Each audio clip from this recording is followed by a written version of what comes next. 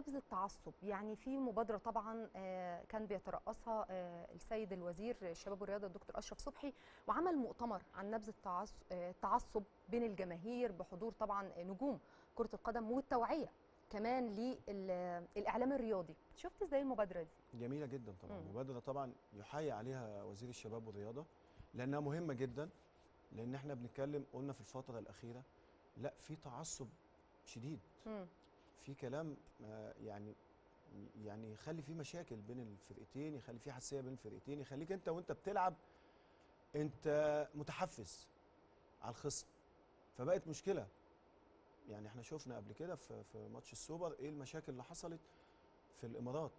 يعني أتمنى يعني فرقتين كبار زي دول في مبادئ لعيبة قدوة. مسؤولين. مسؤولين. لعيبة قدوة. الناس كلها بصلها ماتش مهم جدا.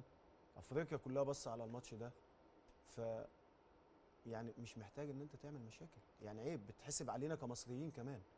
فأعتقد إن دي مبادرة مهمة جدا كانت لازم تتعمل من بدري على فكرة. طيب آم، أنت كواليسك الشخصية قبل المباريات المهمة اللي زي دي يعني هل كان بيبقى عندك طقوس معينة بتعملها؟ في أوقات ناس بتتفائل بحاجة معينة بتعملها في ناس بت- بتعمل ورد. في ناس مثلا بيقولوا لا أنا في اليوم ده لازم أكلم والدتي. يعني في حاجات كده من من باب التفاؤل والتشاؤم و آه، بتكلمش مع حد مركز طول الوقت. كان في ليك طقوس معينة قبل المباريات دي؟ ولا طبعاً. كان يوم كلنا آه. كلنا لينا طقوس على فكرة. مم.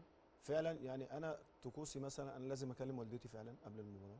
تاخد البركة. على فكرة مش قبلها بيوم. مم. يعني قبل يو- المباراة مثلا قبل ما ما أطلع يوم الماتش. آه قبل آه. ما أطلع الباص.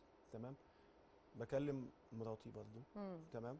آه قبل الماتش بيوم آه بقرأ سورة ياسين والواقعة. تمام ده طقوس ما, ما بحبش أتكلم مع حد كتير يعني تلاقيني في في الأوضة بتاعتي ما بحبش أنزل إلا لو في مثلا فطار آه آه غدا أو عشاء الكلام ده ما بحبش أقعد تحت كتير بطلع فوق في في الغرفة بتاعتي آه دي الطقوس بتاعتي إن هي إن أنا ببقى مركز مع نفسي. ما بحبش طول الوقت. داخل في أجواء ال- الماتش نفسه آه.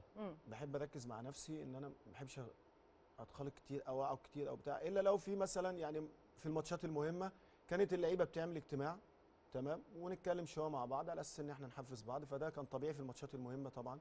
يعني ماتش زي ده مثلا مهم جدا طبعا. مم. فطبيعي إن اللعيبة بتلم بعضها بتحفز نفسها بتدي ثقة لنفسها أكتر فده كان بيحصل برضه في في الفندق ساعتها.